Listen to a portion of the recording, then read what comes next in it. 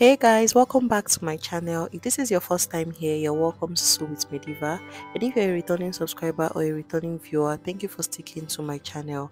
So in today's video, I'll be showing you guys how I made this stylish two-piece set. So the side of this top has a drawstring as you can see and the neckline is this stylish V-shaped crop neckline. So if this is something you are interested in, make sure to keep watching and make sure you watch till the end.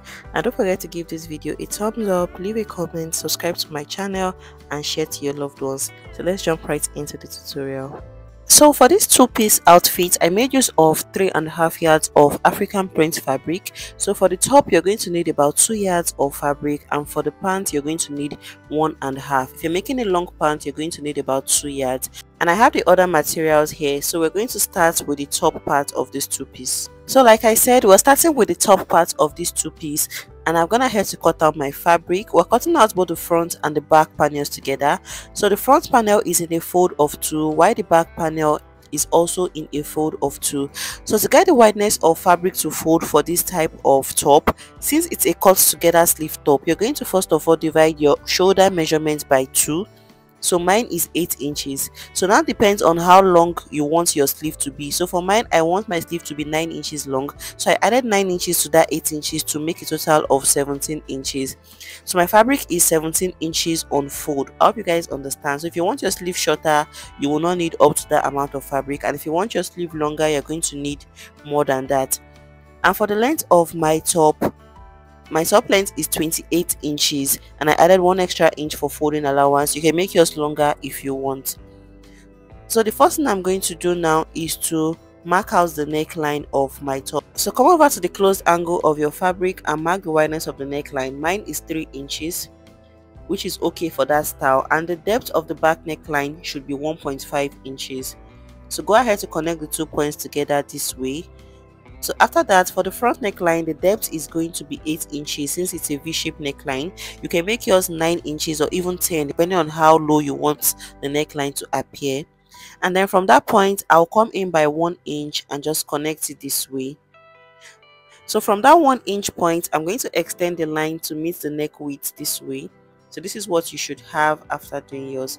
So i'll come over to this open angle of my fabric now and come down by 1.5 inches for the shoulder slope and then connect it all the way to meet the neck depth. After that, the next thing is to mark the armhole measurement. So my round armhole measurements divided by 2 is 8 inches and I'll add 1.5 inches to it because of ease and for the seam allowance. So I'll just go ahead to extend that point in a bit. After doing that, the next thing is to take the shoulder to the hip line. So my shoulder to my hip line is 24.5 inches I'll extend the line this way and on this hip line I'll mark my round hip measurements divided by 4 which is 11 inches. I'll add 1 inch for ease and 1 inch for seam allowance to make 13 inches. You can add 1.5 to 2 inches if you want your blouse very free. So I'll go ahead to extend that line all the way to meet the armhole line this way forming a straight line. So go ahead to mark your own measurements and connect it this way. Form a curve at that angle and extend the line all the way down. So the next thing to do is to cut it out. So we're going to cut out the back neckline first and then I'll add half an inch while cutting this shoulder area because of the joining allowance. And then cut out the sides all the way down. So I'll separate the front panel from the back and then I'll proceed to cut out the front neckline. so after cutting out when you open up this is what the front neckline should look like you have something that looks like this and the back is just a simple neckline this way the next thing to do is to join these two pieces together on the shoulder so i'm going to place them right sides facing each other this way I'll match the shoulder points together and close it up using half of an inch. When I'm done joining the shoulders, I'll show you guys how to attach the collar. So after closing up the shoulder area, this is what it looks like. The next thing to do is to work on the collar. And to do that, you're going to first of all uh, measure, get the midpoint of the back panel, fold the back panel this way and get the midpoint of the neckline. So I'll go ahead to notch that point with my chalk and then I'll get my tape rule and just measure from that midpoint all the way down on one side. So I have about 12 inches here so I'll just measure the other side to make sure I'm on the right track you're supposed to get the same thing so for mine i got 12 inches so making a total of 24 inches so i'm going to add 8 inches to that 24 inches to cut out my um collar because you don't want to be short of fabric so you have to add extra to it so i'll add 8 inches to mine and go ahead to cut it out so I've gone ahead to cut out the fabric I'll be using to form the collar. So I want the height of my collar to be 2 inches.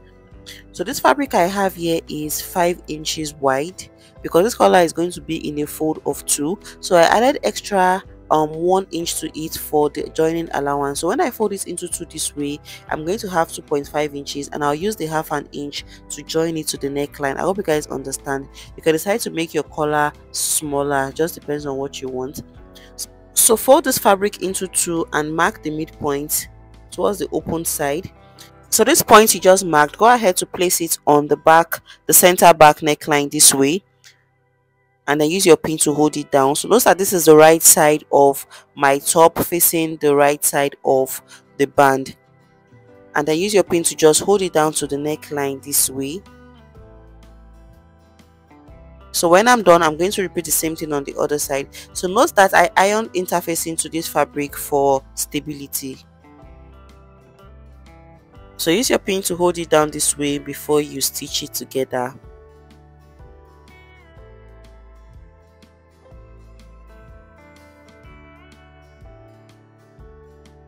so after that i'll take this to my sewing machine and join this um collar to the neckline. So go ahead to use half an inch to join the two together. So what i'm going to do now is that when i get to this edge i'm going to come down by half of an inch. At this point i'll make sure my stitch comes down by half of an inch. Make sure it stops there. And on the other side to the same thing i'll come down by half of an inch. So i'm going to start from this point and just stitch it all the way around the neckline using half of an inch. So when i'm done stitching i will show you guys the next thing to do. So after i stitch down the collar to the neckline this is what it looks like. So like i explained earlier i stitched it down all the way by half of an inch. So you can see that it came down the stitch came down by half of an inch from that um neckline. So what i'm going to do now is to cut that angle opened so you're going to cut it opened all the way to the collar. Let me show you guys what i'm trying to explain. So this angle on this side you're going to just cut it open all the way to the collar this way. Make sure it doesn't get to the seam. So after cutting open you see that you can easily pass the neck um the collar through the neckline this way so if done correctly your collar is going to sit beautiful this way on the right side. So if it's not sitting very well you can go ahead to still notch that edge a bit inside. You can notch it. So on the wrong side this is what you should have. The collar should be crossing on each other this way.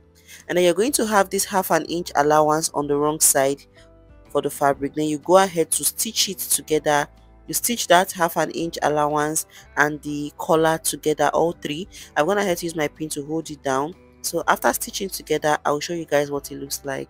So after stitching down the collar this is what it looks like on the right side. You can see how neat it looks now. The next thing we want to work on is the turnover for the sleeve. So i'm gonna head to cut it out and the wideness of the fabric is two inches in a fold and i've ironed my interfacing to it as you can see. So i'm going to place the open angle of the fold on the wrong side of my sleeve this way and stitch it down using half an inch. I'll repeat the same thing on the other side. Open angle of the fold on the wrong side of the sleeve and stitch it down.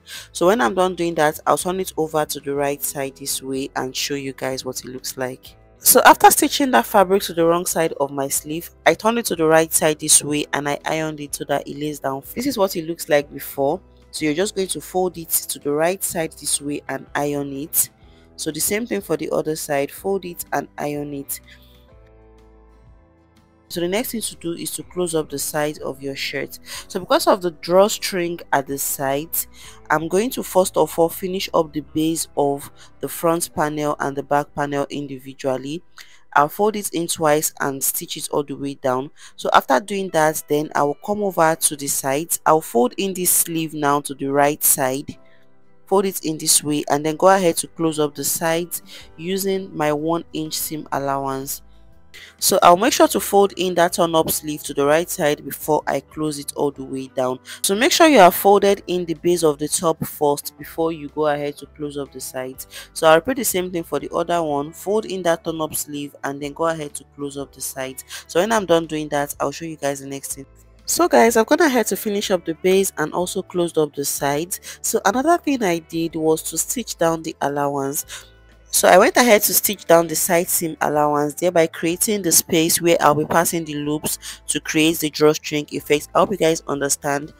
So this was the reason why I told you guys to finish the base of the front panel and the back panel individually so that you'll be able to create your drawstring casing when you are done. So this is what it looks like. So before I turn it over to the right side, I'm going to notch this curved area. So this is going to help um, the top sit very well on the right side. That part will not appear squeezed or rough. So after making small notches i'm then going to flip it over to the right side for you guys to see. So after flipping over this is what it looks like. Let me just go ahead to arrange it out for you guys to see. You can see how beautiful the neckline and the sleeve looks. So this is basically all for the top part the only thing left is to fix the drawstrings on the sides this is what the top looks like now. So i'm going to set this aside. While we work on the pants for this two piece. So we're moving over to the short part of this two piece set and i have my fabric in a fold of two. We're cutting out the front panel first so you're going to start by marking out a line at the upper part of your fabric which is going to be the waistline. So this short is going to have a waistband of 1.5 inches. So I'm going to place my tape rule 1.5 inches above the starting line to mark the full length which is 20 inches. The extra 2 inches is for the folding allowance. So go ahead to place your tape rule 1.5 inches above the starting line again and mark from your waist to your hip line. Mine is 10.5 inches and the next measurement is from the waist to the crotch depth. So to get your crotch depth you're going to divide your round hip measurement by 4 which is 11 inches for me. And i'm going to add 1.5 inches to it to make 12.5 inches for my crotch depth. So after that the next thing is to come over to the hip line and mark your round hip measurements divided by 4 mine is 11 inches and i'll add 1 inch for seam allowance to make 12 inches so i'm going to mark that 12 inches on the crotch line as well and also on the waistline. Go ahead to use your own measurements and then connect all the points together with your ruler. So after connecting the next thing is to mark the crotch extension. And to get your crotch extension go ahead to divide your round hip measurement by 4 whatever figure you got divide it by 4 again. So for mine i got 3 inches. And i'll just go ahead to create a curve this way from the hip line so I'll go ahead to measure what I have on this crotch line all the way to the extension. So I have 15 inches and I will get the midpoint which is 7.5 inches. After getting the midpoint, I would extend the line all the way to the full length of my pant. So on the full length of the pants, I'll go ahead to measure around my thigh, the place where I want the shorts to stop. I'll measure around the thigh. So take the measurements with ease if you don't want the shorts to be too tight at the base.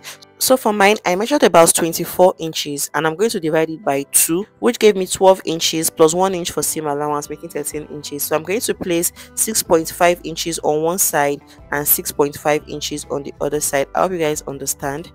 I'll extend it down this way and then connect one side to meet the crotch extension and the other one to meet the crotch line this way. After that, the next thing is to place the round waist measurement. So you're going to take this from the center front. So my round waist measurements divided by 4 is 8.5 inches plus 1 inch for seam allowance, making 9.5 inches. So mark your measurement and then go ahead to connect it all the way to the hip line this way. So this is basically all for the front. I'll come over to this front um, line and then come down by half of an inch. So i'm going to connect it all the way to the side of the pant. So let's go ahead to cut it out so let's go ahead now to cut it out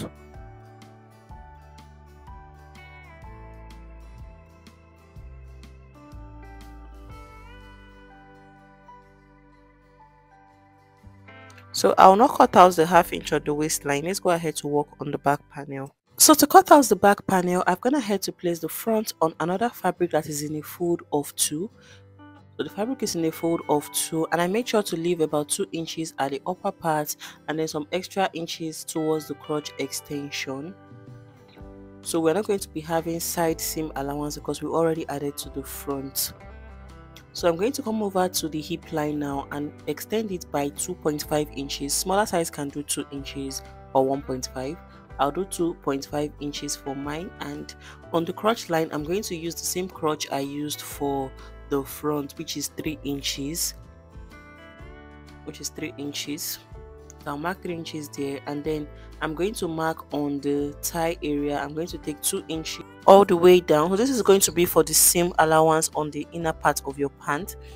So I'll connect the 2 inches all the way to meet the crotch extension this way. So I'll out the back crotch extension this way to meet the um, butt allowance so curve it out this way and then connect it all the way up to meet the waistline forming a slant. So this is what you should have. So the next thing to do is to um, merge the waistline all the way up. So just go ahead to form a slant line all the way to meet the back waistline. So after that the next thing we want to do is to mark the zipper allowance of 1.5 inches. I'm going to mark 1.5 inches all the way down. I'll come down by 9 inches so this is going to be the zipper allowance. So we did not add any allowance to the side of the back panel because the front panel already has side allowance. So let's go ahead now to cut it out. So let's go ahead now to cut out the back panel. So this is how you cut out the zipper allowance. So after that i'll cut out the waistline and also cut out the sides so i won't be adding any pockets to this pants because i don't want this video too long. I have other videos where i have added pockets to pants. So i'll separate them from each other now and then i'll take out the half an inch um allowance on the waistline. I'll just proceed to cut it out this way so after that the next thing is to start joining the fabrics together. So i'm going to start with the front part. I'll place them right side facing each other this way and then go ahead to close up the crotch area using half an inch allowance. When i'm done i'll do the same thing for the back. From where i want my zipper to stop i'm going to join the crotch areas together all the way down. So when i'm done doing all of that i'll show you guys what it looks like so after I joined the front panels together, this is what we have. So the next thing to do is to join the front and the back together. So I'm going to start with the crotch. So I'll merge the front crotch and the back crotch together this way and just use my pin to hold it down. Then I'll take it to my sewing machine and use one inch to join it together. So I'm going to stitch all the way down, starting from the center and stitch all the way down on the other side as well. Stitch it down so after that i'll also close up the sides of the pants using the one inch i added. So after i'm done doing all of that i'll show you guys. So guys after i close up the crotch area this is what it looks like. And I've also gone ahead to finish up the base of the pants. I folded in twice and stitch it all around. So the next thing we want to do is to insert the waistband. And to get the length of fabric you'll be cutting for the waistband you're going to measure around the waistline of your pants so start from the back panel and just measure what you have all around it. So for mine i have about 37.5 inches um after measuring. So i cut out a fabric that is 38 inches long.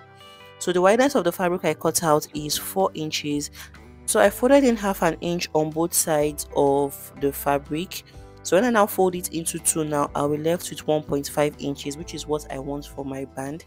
So go ahead to also iron your interface into the fabric to give it weight. So come over to the wrong side of your pant and place the right side of your band, open up the allowance and then go ahead to stitch it all the way around it this way.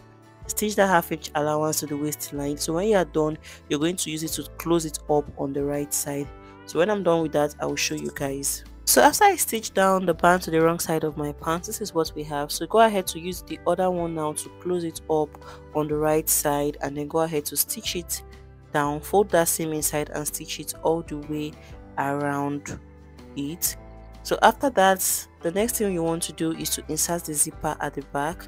So i'm gonna head to open up my zipper and i'll place the right side of the zipper facing the fabric this way. And on the zipper allowance i'll go ahead to stitch the zipper in.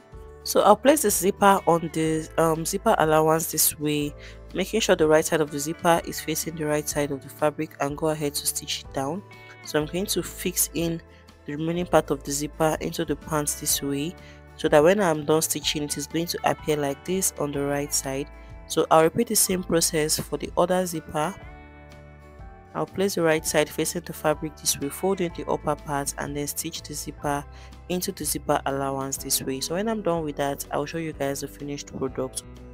So after inserting the zipper at the back, this is what it looks like. And this is what the front looks like. So we're almost done with this two-piece outfit. Last and final thing I want to show you guys is the drawstring at the side of your top so i'm gonna head to fold up the fabric and I make sure the fabric is half of an inch so that it can go through my casing and i stitched it at the upper part so i'm going to show you guys how to pass in for one side so you're going to use your pin just the way you do with your elastic band and then you pass it through the hole at the lower part this way. So you keep pushing the pin with the fabric into the hole this way. Until you get to where you want your fabric to stop. Let me flip it over to the wrong side for you guys to see. So on the wrong side now i'll just bring out the um rope at the point where I want it to stop and then go ahead to stitch it down there.